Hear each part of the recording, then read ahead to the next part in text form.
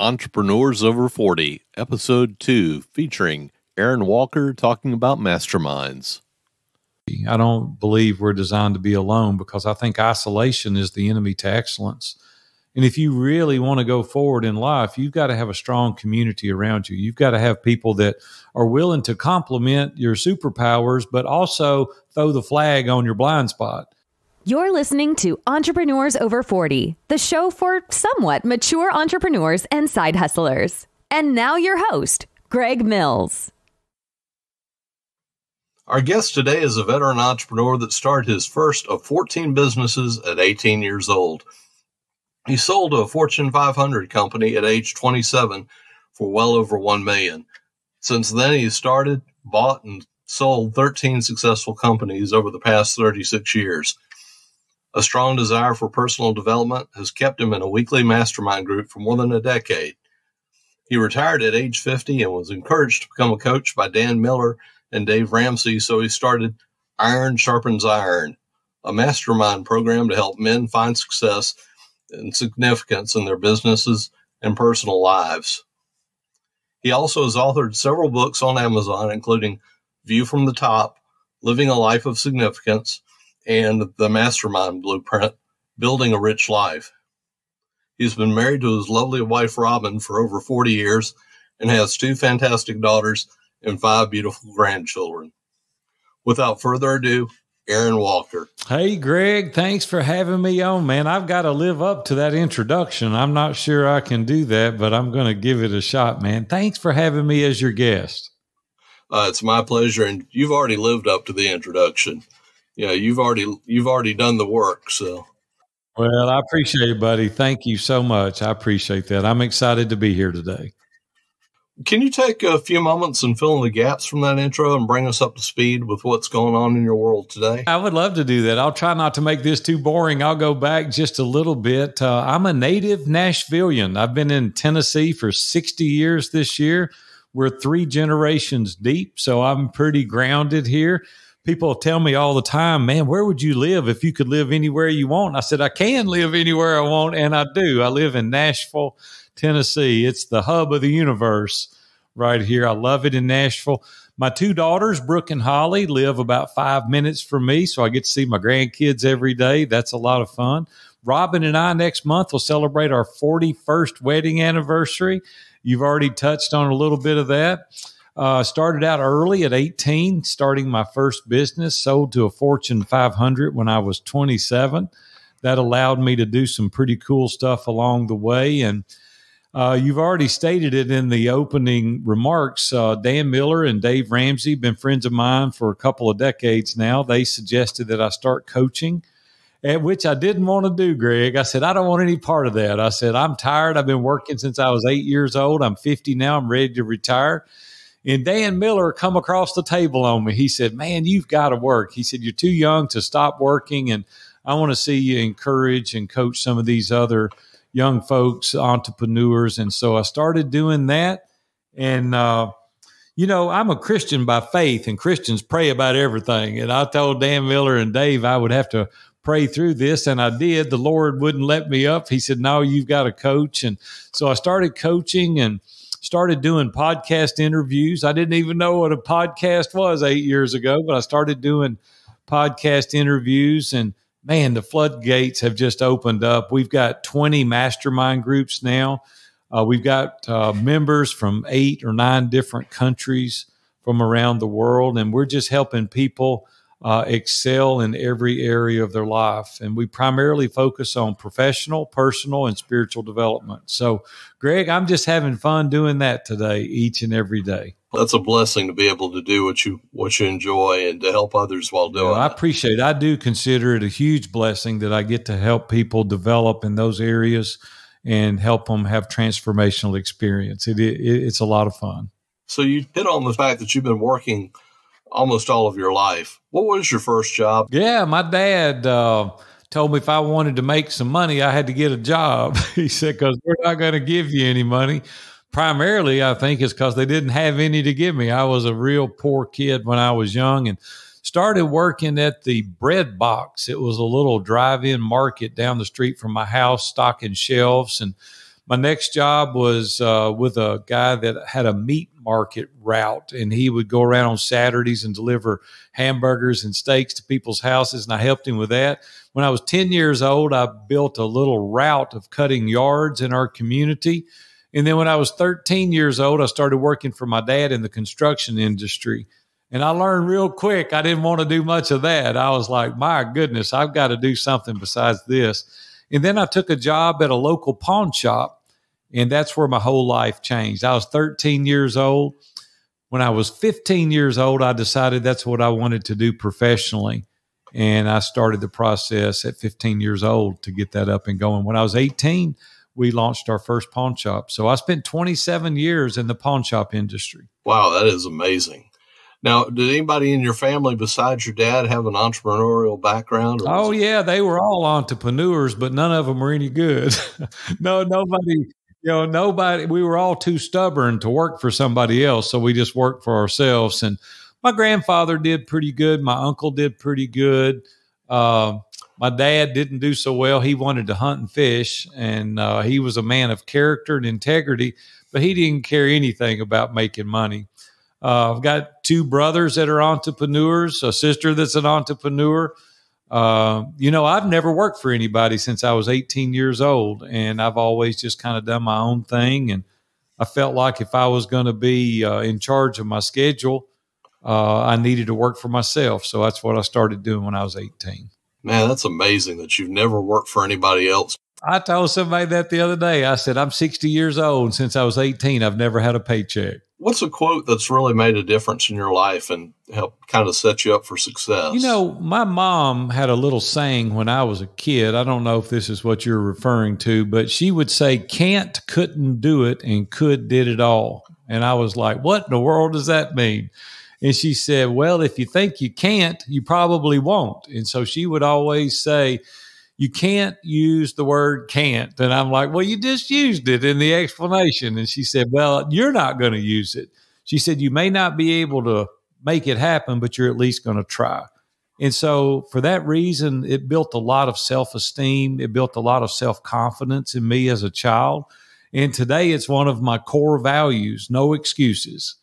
And I don't allow people in our organization to have excuses. Like, my next core value is everything's figure outable. Like we'll figure it out. And so when you develop that mindset of you can do it and you don't have any excuses and you've developed the strategy that everything is figure outable, you're probably going to end up successful. So we just adopted that over four decades ago and it's worked out pretty well for us. It sounds like your parents, while they may not have been financially successful, they really set you up well with what they oh, taught there's you. no doubt, man. My mom and dad had a work ethic that was unbelievable, and my mom had a very positive mindset.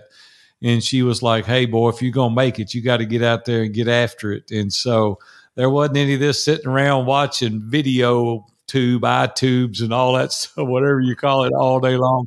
It was get your butt off the couch and go get to work. And so, yeah, they developed a lot of strong work ethics in us. So in Proverbs 27 17, as iron sharpens iron, so one man sharpens another.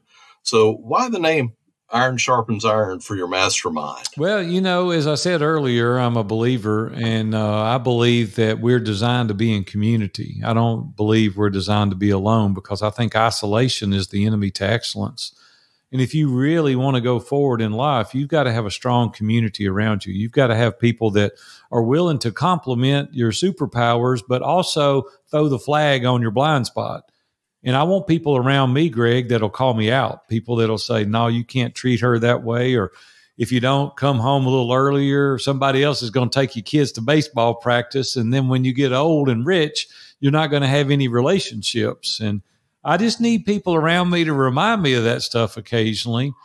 And I want to excel. I want to do good. I don't want to be average, you know, because if you're average, you're just as close to the bottom as you are the top. And I don't want to live that kind of life. I want to live a life full of adventure.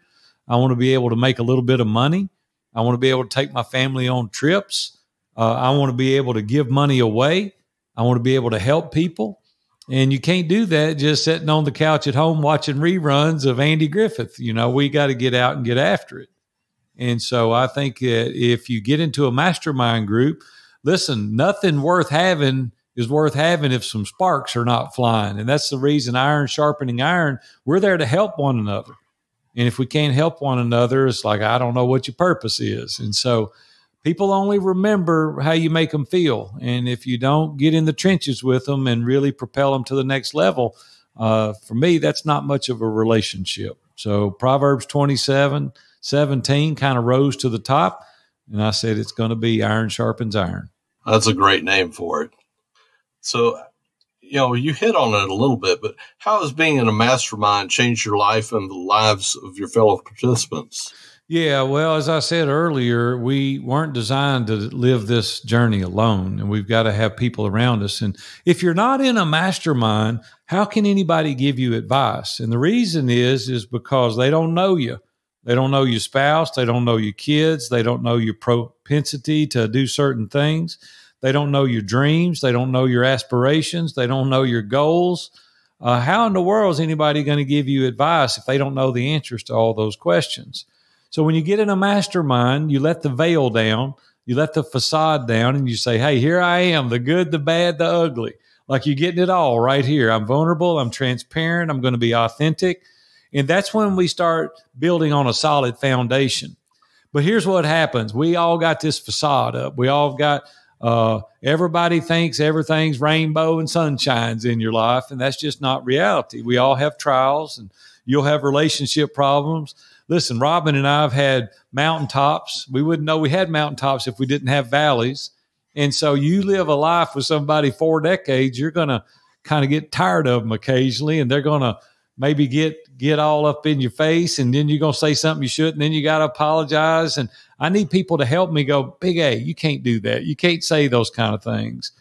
And the, you need to be home when your children are there because you only get one go through with them. I mean, you don't get a second chance, it's like, I don't want to have regrets. I don't want to lay there on my deathbed one of these days and go, you know, I should have paid attention. I should have been at home more. Nobody says I should have been at the office more. But yet people just spend the majority of their time there. They don't really prioritize their family. And then you come home one day with a pocket full of money to a house full of strangers and you wonder why they don't have anything to do with you.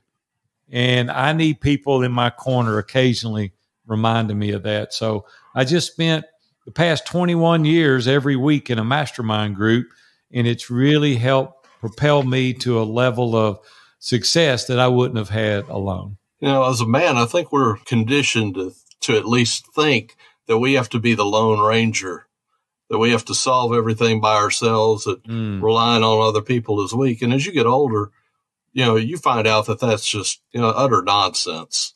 Yeah, well, the thing is, is that ego and pride slips in, and you think, "Hey, I'm a man; I can do it all on my own." Well, there's no self-made people out there. Uh, it takes community. It takes great colleagues. It takes team members. It takes a tribe to raise a family. Why wouldn't it take a tribe to keep you on the straight and narrow to run your life and run your business and um, but people think that if they are vulnerable and transparent, they'll appear weak. And the truth is, is you'll be stronger as a result of it. So masterminds give you a new perspective. Like Greg, you have one life experience. You have one set of filters. Uh, you don't have a different perspective. You can't see it differently if you wanted to. And we need people in our corner that can point out things that we can't see. And when we have the consensus of the multitudes, more than likely that's probably going to work out but you've got to subject yourself to the scrutiny of a group of people that are willing to throw the flag on you, willing to call you out, willing to give you constructive criticism. I mean, my goodness, I even send out letters to people saying, How do you see me in this light? How do you see me acting around my family? How do you see me out in public? Like, help me. I want to get better. And uh, I just tell me, hit me on the chin. You know, I can take it and just tell me the truth because I can't fix something if I don't know it's broke. Now, I imagine your wife's pretty conditioned to, to that now, but what was her reaction the first first time that she she realized that you were doing that? Well, you know, we uh, we got married two weeks out of high school, Greg. So we kind of raised each other. So we've been together, you know, the vast majority of our life, and she's not known it any other way except for me to be this way. But the truth is, the, the world we're living in today is starving to death for authenticity. We're so mm. tired of the polished persona and living on the beach in Hawaii and the four hour work week. And, you know, uh, no disrespect to that book. It was a great book, but his intention was not for people to literally take it to that extreme. And we've lost all sense of our bearings. And we need people to walk around us and help us grind it out and have that grit and determination and perseverance and really set these aspirational goals that we can accomplish the things that we need to to help us stay on the straight and narrow to help us prioritize our priorities and help us accomplish the things in life that really matter. You know, my first number one core value is relationships matter most. And if people don't matter to you, you go have a long road ahead of you because you're dealing with people regardless of what you're dealing with. And when you really focus outward and you're the giver and not the taker, that natural reciprocity, it comes back to you a hundred X. And so when you really focus on other people and help them accomplish their goals and dreams, man, you'll get anything you want out of life. You just got to be genuine and you got to go out there and really help people. Now, what about for the person that joins your mastermind or any mastermind for that matter, and they're they're they're going by the uh, old adage, well, better not to open my mouth and have them think I'm a fool. Well, yeah, I've heard that before. It says it's better to appear stupid than to open your mouth and relieve all doubt. But the the truth is is none of us have it all figured out. Now, we can't go out there to the general populace that has no context to your situation and air your dirty laundry. That's not what I'm suggesting at all. What I'm suggesting is is you go into an accountability group or a mastermind group where people are genuinely interested in your well-being. People that align with your core values, people that align with having a purpose in life, people that really want to excel personally, professionally, and spiritually. I want people around me that are really interested in doing life the correct mm-hmm. way. And we've got to have some straight edge by which we determine what it is for you that is based on truth. And my final core value is truth before opinion. And for me, God's word is truth, and I measure everything against it. And if it doesn't coincide with that, then I'm out. I'm not interested. I can hear other perspectives. I can understand. I can re- guard you for who you are and who you stand for. But at the end of the day, we've got to have some value system that we measure everything that we do in our life.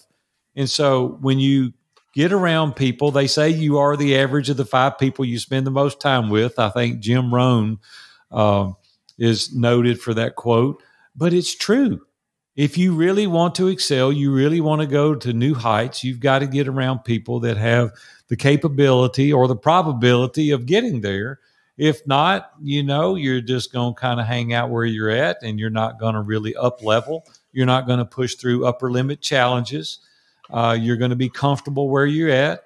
And procrastination kicks in. And then you look up one day and here you are, 65, 70 years old. And you finally discover that you really didn't uh, meet your own expectations and you didn't really do the things that you're capable of doing. And I just want to be pushed to that level. So, how do you attract and vet the people for your mastermind groups just to make sure that they're the right fit? Yeah, it's a great question. You know, uh, I've done a number of podcast interviews over the years, and a lot of people hear me and they say, Hey, I want to know more about that. There's an application that we take. Uh, that application's at viewfromthetop.com and we vet each and every person. We go through and have an interview, just like you and I are talking now, and it lasts about 40 minutes historically. And I ask some very pointed, uh, very direct questions about you and your goals and what it is that you've accomplished, what you hope to accomplish, some of your personal values, what your mission statement is, where you want to be in life. And then we say, hey, this is who we are as an organization we really go through and we make the member promise. We say, hey, this is what you can expect from us. But at the same time, this is what we expect from you. We want you to show up on the calls. We want you to show all your cards. We want you to help other people connect with other people. We want you to call them out, walk with them, connect offline. Uh, we really want you to build that camaraderie, build that uh, type of sense of rapport that you would have with somebody that really wants to form that relationship. And once we establish you're in, uh, then we just continue to grow our community. Now, are most of these virtual? They're all virtual. Yeah. Okay. We we've got members in about eight or nine different countries now, and you know what's pretty cool is is that we found out that people will be more vulnerable and transparent with people that they first meet virtually. They wouldn't do it in person because they're worried about my banker's in the room, you know, my chiropractor's in there, our preacher's in there, and our wives play tennis together, or they're at the country club together, or you know, man's wife cleans my teeth. My wife may hear this. And it's like, oh, they're scared. They're locked up. And so mm-hmm. virtually, that's not a problem. And then the other thing is, is you can get such high quality people because you're not limiting it to your geographic area. Okay. Now, one of my first thoughts, and and now I'm kind of rethinking this, was like this would be a perfect ministry for your church or for any other church, but for the reasons you just described, you know, people might not be as open to sharing or, you know, talking about their individual struggles as they might be, you know, in a Zoom type forum. Yeah. Well, Greg, let's talk about that because you might have opened up Pandora's box for a minute. But I've been a leader in my church uh, for decades, literally three and a half decades. I love our church. I mean, I love our pastor. Uh, it's amazing. But the truth of the matter is, we really get off more in your business in the mastermind groups than we do at church. Uh, we ask very, very personal questions. I'm challenged and uh, I'm asked things to uh, uh, that, that, I just don't get asked on a regular basis in our church. And I had this discussion recently with our pastor. I said, "Why aren't we doing that? Why aren't we in each other's business and ask them about various?" things that are causing them and creating problems in their life. Why aren't we calling them out? Why aren't we saying, you can't do that? You need to be at home at this time. You need to be around your kids. You don't need to be looking at pornography. You need to be treating your wife with respect. Like, why are we doing that? And I just, for the love of me, don't understand why we're not doing it. But we do that in the mastermind. Like, don't ever join my mastermind if you're thick, if you're thin skinned. I mean, if you can't take it on the chin, you don't need to be in our group because we're about getting it done. We're about moving the needle. We move the ball down the field. And when you say I'm going to do something and you don't, you get called out. And at church, we hide. You know, we don't even tell. Nobody asks, nobody tells. And I'm like, man, how are we going to get better if we're not doing this stuff? And so, no disrespect to the majority of our churches, but we're doing what church should be doing. I think the majority of the churches are just trying to s- survive, and they probably think that you know if I ask the hard questions, that'll drive people off. But it's I think the opposite. It, is. They're failing because they're not asking the hard questions. If they would get in there and be life transformational for people, they would want to come and uh, yeah. So I think if that's the mindset, we got it backwards. So how long does the average membership in a mastermind last versus, you know, one of your masterminds? You know, I hear, I don't know this. I can't support it uh, statistically. I can just tell you kind of the word of mouth. Historically, less than a year in most masterminds. We do have the analytics to support what we've done, and we've had hundreds and hundreds of people go through our mastermind program. 3.2 years is the average life of one of our members. And we've had dozens and dozens and dozens stay six and seven years in our mastermind group. Because why would they not want to stay? I mean, their their their marriage is better, they're better dads. We have a women's group as well. They're better wives, they're better moms. Their businesses are doubling and tripling. Uh, they're they're walking the way they should be walking in regards to personal and professional and spiritual in every area of their life. Why would they want to get out when they're getting that kind of return? And so it just doesn't make sense, and that's why they stay so long. We really have a great program here. It's really something that uh, your your audience should check out. Now, you mentioned that you have masterminds for for women. We do. Are they co-ed or are they? No, they're all, not. No, okay. they're women. Women are run by my daughter, Brooke. Brooke is the director, and we have facilitators that run those groups. And uh, co-ed groups can be fine, but the truth is, I'm just old school. There's some things I need to be talking about with men that I wouldn't feel comfortable doing with women in there. And there again, I'm from the old school. I know a lot of people say that's ridiculous. Well, it's just the way I am. You know what I'm saying? And there's things that women need to be talking about that the men doesn't need to be in there. And you and I are similar in age, and you're kind of from the old school too, so you can appreciate what I'm talking about. But uh, I just feel it's best. There's many masterminds that are hugely successful that are co-ed and if that's for you, that's fine. The other thing is, is I've done a lot of financial counseling over the years. You know, Dave Ramsey and I've been best friends for almost 30 years. So I kind of grew up, you know, in uh, him growing that radio business. And I was his uh, second sponsor. I sponsored his show for 21 consecutive years. And so I grew up kind of around that. And my wife used to say, Why do you make the women cry? And I started laughing. I said, I don't mean to make them cry. It's just that I say it. I say whatever it is. And so I do that with men. Like I can't help you if I don't just say it. And if you don't say it to me, like you liking me is good, but my main priority is to make you better. And if you like me, it's a benefit, right? It's a plus. But our objective is for you to get better. And just sometimes I get a little carried away myself. And uh, we felt it was better if the women had a director and they run their groups, and then the men, we run our groups. Yeah, I can't imagine being in a, a man being in a group and asking a question, you know, how should I proceed with my wife or something even more personal? And sure, you know, that, that would just seem to like it would inhibit the it responses. Would. And it does. And so, you know, I wouldn't want my wife in there talking about real personal things in front of other women related to our relationship. And we found that to be true. There are a few outliers that are okay with it, and that's fine. There's groups out there for you. It's just not so happened to be our group. So you touched on this a little bit. I, I was going to ask anyway. How involved is your family in View from the Top and Iron Sharpens Iron? Yeah, well, our daughter Brooke is the chief operating officer for our company, so that's pretty involved. Uh, everything runs across her desk. Uh, she does an amazing job. Uh, my wife and I elect not to participate in business because when I leave and turn the light out in my office, you know, we need to have our family time and we need to leave the business uh, as much as I can at, at the business, and then we need to have our family. We did try during one of our companies. We used to own a construction company, and Robin worked in the company. And uh, that didn't work out too well because she let me know in so many words she didn't work for me.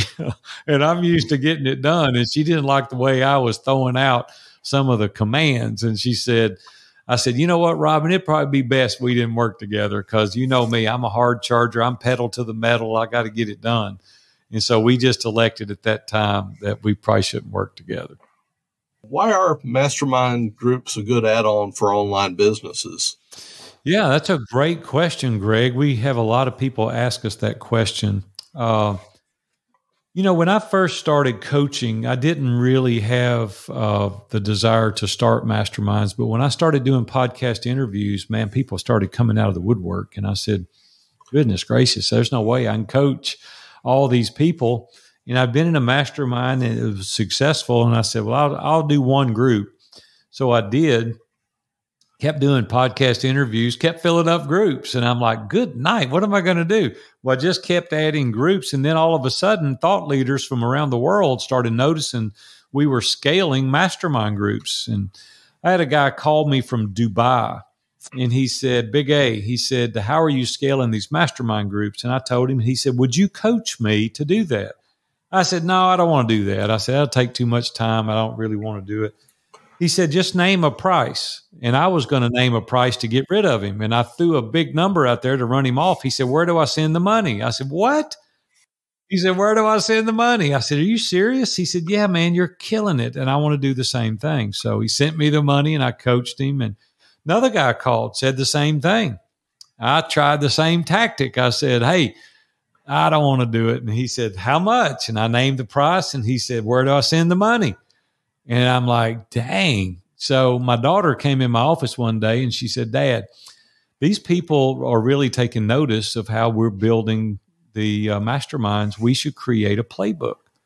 I said, I don't want to do that, Brooke. I said, that'll take too much time and it'll take a lot of effort and energy on our team. And she said, Well, what do you want to do? Do you really want to scale and keep growing, or do you want to teach other people to do it? They can continue to do it. And she guilted me into it. And I said, okay. So we created the mastermind playbook where all the systems and processes are in one playbook. And then we developed a coaching program to teach people to do exactly what we're doing. So we've got people now all over the world that are implementing our strategy, and we've created a framework and a playbook in order to teach other people what we're doing. And what people have discovered an average cost of a mastermind is about $500 a month. There's some that are way more, and there's a lot that are way less. But let's just use the average of $500. If you have two groups, that's 20 people because we put 10 in a group.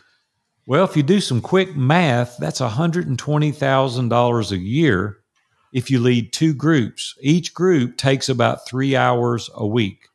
So, an hour to lead the call, about an hour to get ready, about an hour to follow up. So now you got six hours a week invested in a six figure business.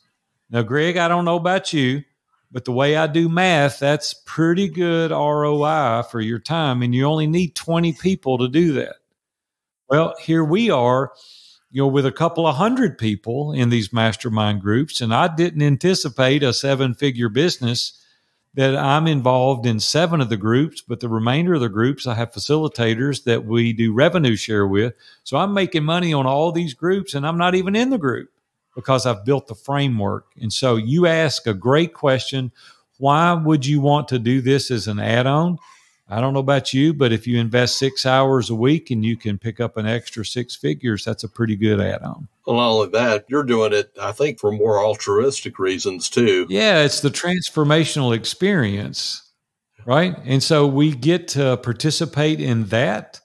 And then also the revenue is nice as well. So I don't want to, I hate it when people with money go, money's not important. I want to go, you liar. It's really important. Let's take it away from you and see how important it is.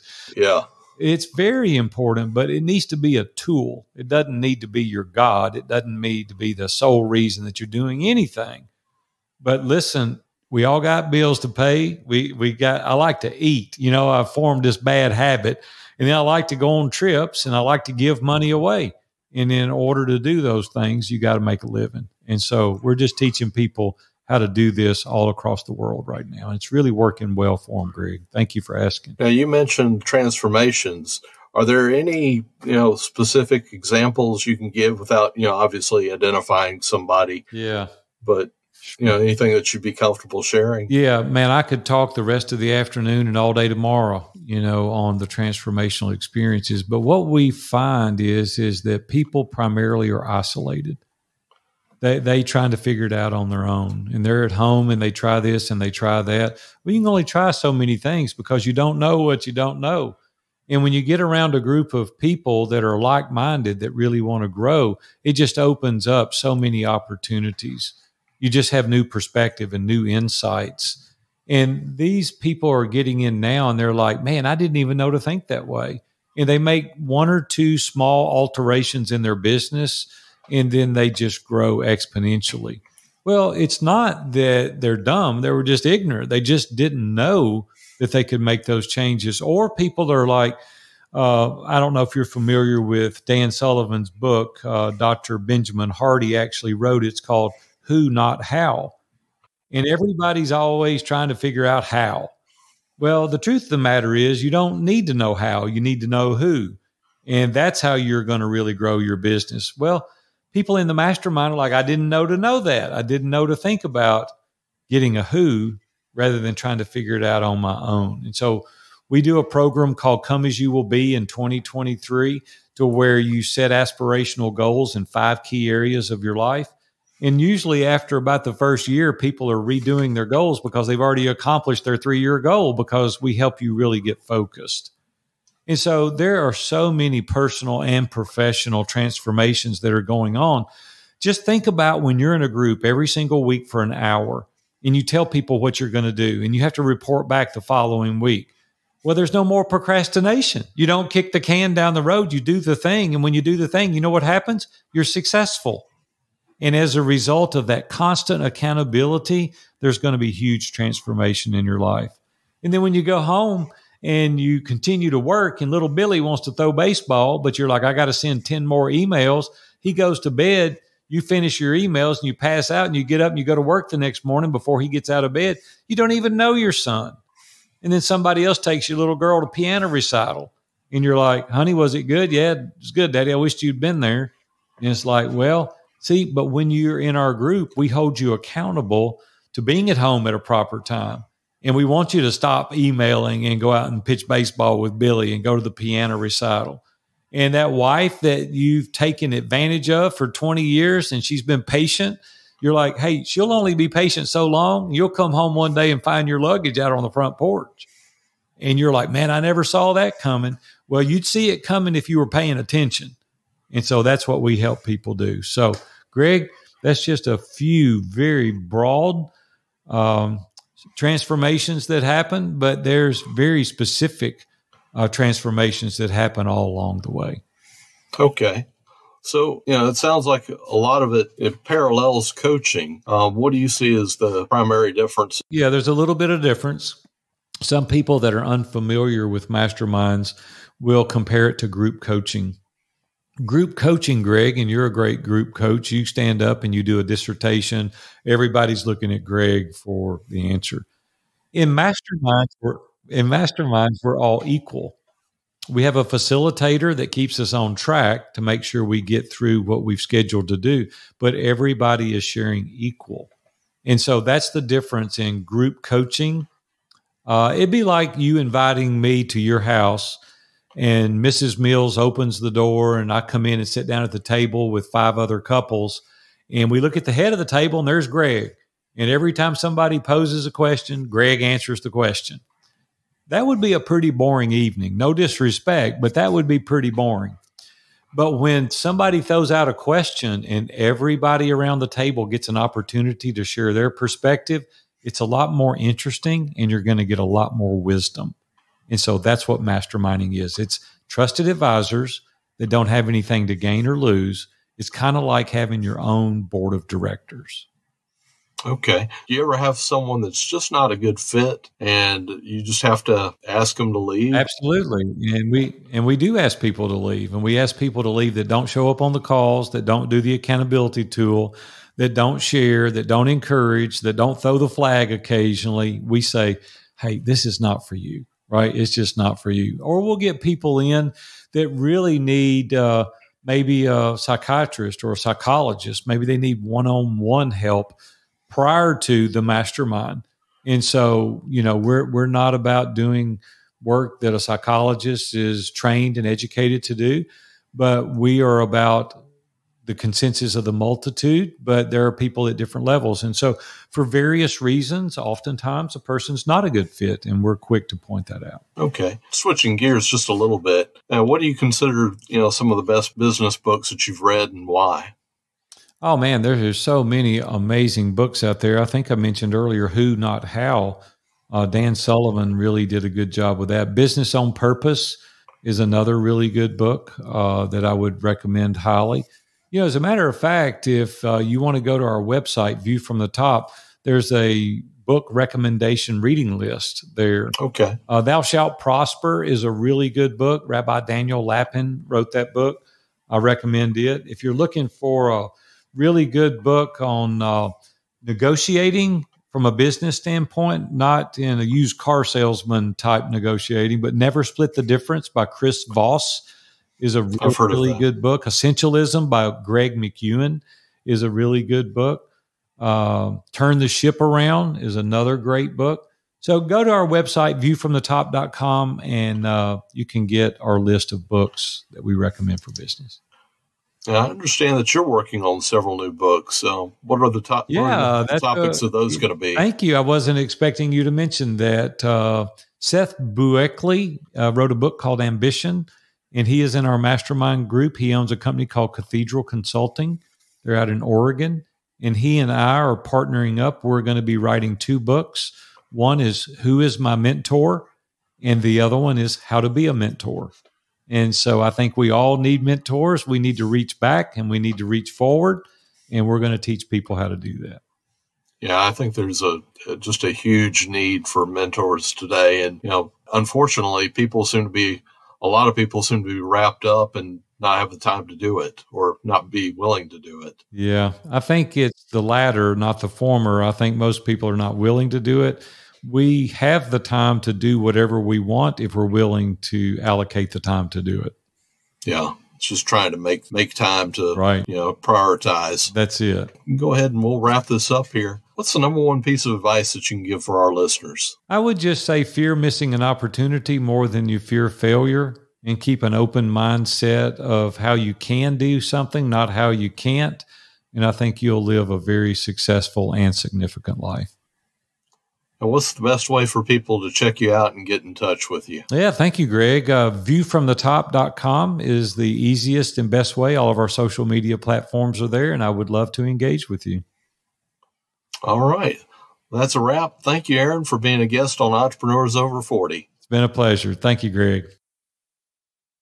Some of my key takeaways from our conversation with Aaron Walker were his mom's quote of, can't, couldn't do it, and could did it all. It was just a very empowering quote that she taught him that we could all use. He also discussed the value of being in a mastermind where people get real and help each other out and, and themselves. Said that the world is starving for authenticity. So that when you focus on other people and help them accomplish their goals and dreams, you'll get almost anything you want out of life. He also mentioned that masterminds are a great fit for online communities. Be sure to check us out next week where we interview Stephen Key of InventRight, where he talks about product development.